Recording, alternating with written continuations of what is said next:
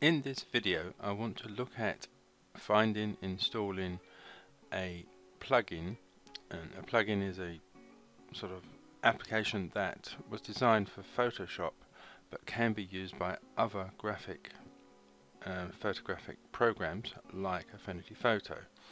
Um, not all of these plugins will work with non-Photoshop programs but quite a few do. Now probably the most famous one is the Nik's collection, which was by Google, but it's now owned by somebody else. Um, I have in the past made a number of videos about the Nik's collection. One, how to find it, install it, and others about how to use it. Um, but this one is about a different plugin, which is made by Topaz Labs. Now, normally Topaz Labs make plugins that they sell, um, but they do have a free version of a sort of as a collection of some of their um, plugins, all collected together. Plus, they will also, I think, they try and sell you extras after you got it. You don't have to go for the extras. You can just stick with the free collection. Now, as you can see by my desktop here, it's called it's called Topaz Studio, and you can install it as a standalone program. It doesn't have to be a plugin, so you could just keep it as a standalone program to make alterations to your pictures, or you can add it as a plugin, which is what I'm going to do. Now, plugins are found in the filters menu and you come down to, down to the bottom. It's got plugins and there it will list all the plugins that you have installed. Now as you can see I have Filter Forge which is one that you can pay for. I have the Nik's collection which is free from like I said used to be Google. And I have um, a one that I paid for from Topaz Labs which is called Topaz Adjust 5 and the Topaz Studio which as you can see which is one where this video is about which has seven different um, effects that you can add but I will come back to that a little bit later. So that is how you can access the plugins. Now how do you find and install these? Let me go to the internet. Now first of all To have a quick look at the Nik's collection about how you can find it. Um, Nik's collection was originally made by Google. They used to sell it and then they made it free and you can still download it from this Google site which I will add a, a link to. But as Google have now sold the Nik's collection, I'm not 100% certain how long this site will be available company they sold it to is DxO and they are going to be incorporating this into their next release I believe. And you can also sign up for information about their new version which they're going to be releasing in 2018 so you can do that but you can also download the current Nik's collection from here as well again that should be free. Let me just get rid of that one and onto Topaz Studios um, from Topaz Labs. Now again you can just click on the free download button to get it. There's also a video here which will show you a bit more about it. And there's also some more information down here about the uh, plugin if you want to know more before you install it. So I will add a link to this into the description of the video. So I'm assuming that you click on this and you download it to your computer. Now I'm not 100% certain whether this is available for the iPad versions of Affinity Photo. I don't know too much about iPads.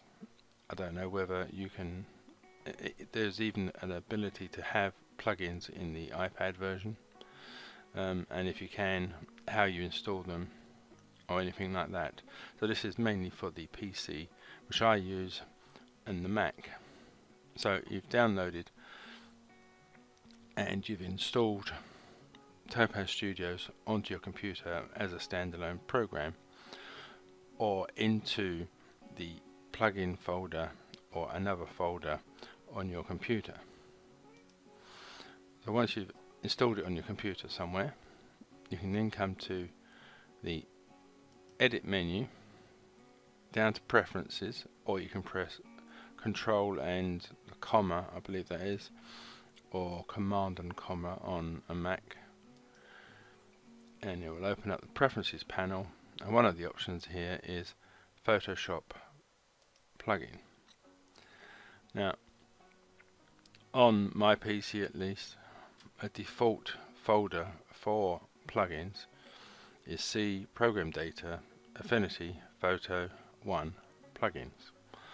So you could put the um, program into that folder or whatever the default program uh, folder is on your computer.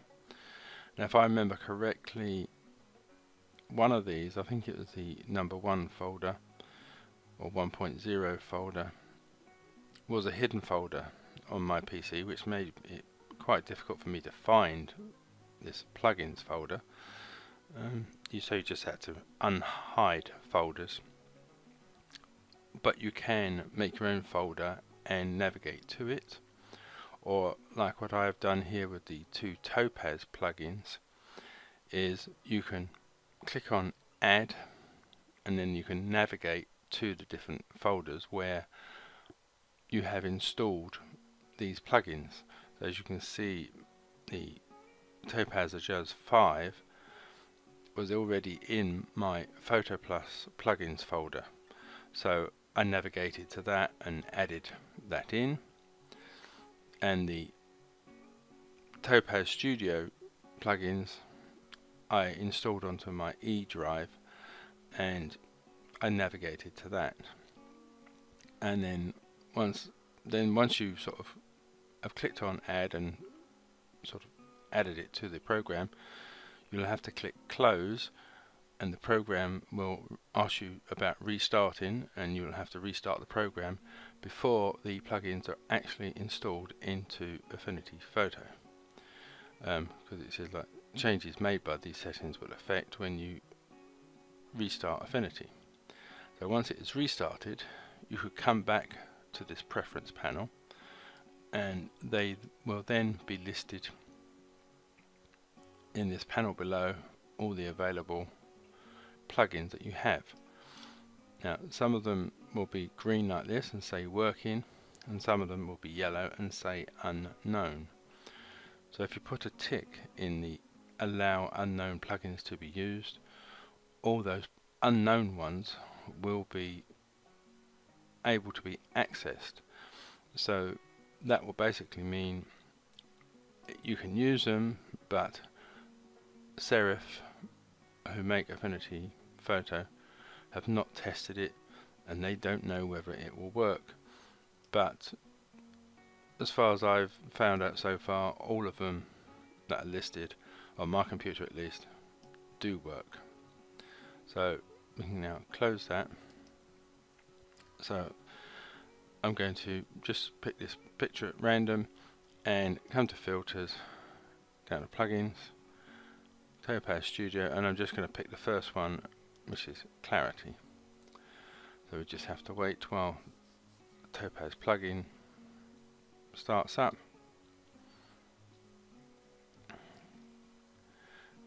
can see it takes a little while there is a sort of splash screen where you can sort of click through the various um, screens that tell you about the program which you can stop happening when you start up but I can just close it.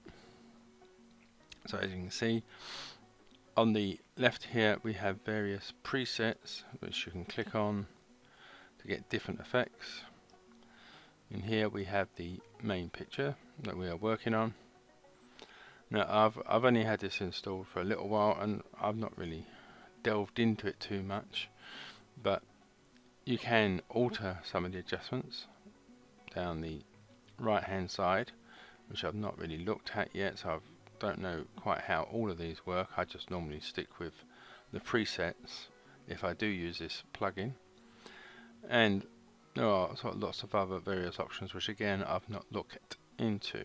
I will do hopefully in the future but I haven't yet. And then when you're happy you can just click on the OK button down here and this will return you back to Affinity Photo. So let us make a quick change. Let's see which one I like. Then you just click on one of these and it will change it to whatever option you've picked. So you, you don't have to you can just click on every one if you want until you find one that you like the look of.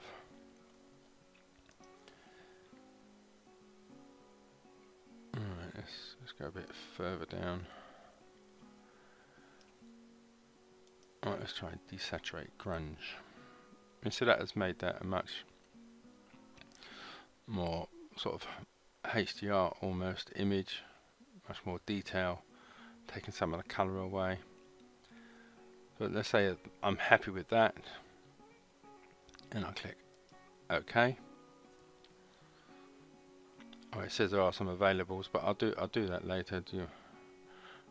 No so so as you can see that has now been returned to Affinity Photo altered to the way that the plugin has done. I'm going to press Ctrl and Z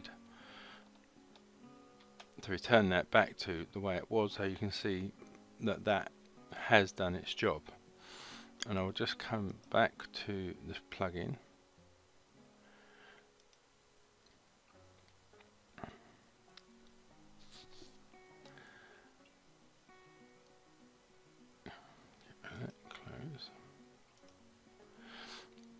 Right, and just to have a quick look at here, you got um, where is it? Oh, this menu up here, which is next to the search option, where you have different um, options, which is down here you've got the clarity detail glow, which was the menu options that were available in Affinity Photo, if you remember. So you could go uh, click on the clarity, which is where we started off, or you can come down to glow and get all the different glow options. Say for example that one. And texture effects, let's have a look at that one.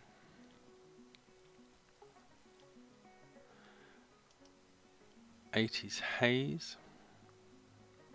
So as you can see, there's there are a lot more options available. You could start off on the clarity one, which is the very first one in the list in Affinity Photo, or you could pick one of the others.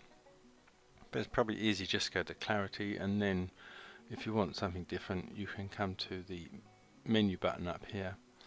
But then you don't have to stick with these ones. There's also some others here. We've got monochromatic. Cyanotype with border. So you got that one there.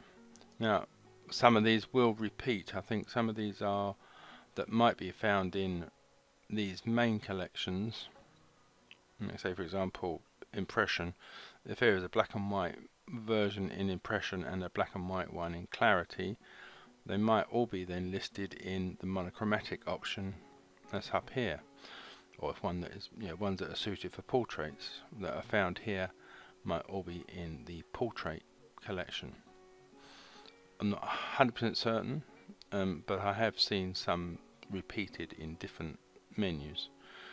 Um, like I said I haven't totally really looked into this plugin yet I'm still sort of tinkering with it and learning myself so the main options are available from this menu here so let's stick with this one here, which I've just currently have one, and I'll just click OK. Me. There we go. It's returned it back to Affinity Photo, and I can then um, edit a bit more if I want to, or I can just export it or save it, whichever option you prefer but export it under a new name so you don't overwrite the original. So basically that is the end of my quick look at how to find and install Topaz Studios um, as it's free as well as the Nik's collection I think they are both worth adding to your plugins folder to give Affinity Photo that extra bit of power and more options in your editing of photos. So thank you for watching. I hope this has been of some help to somebody and goodbye.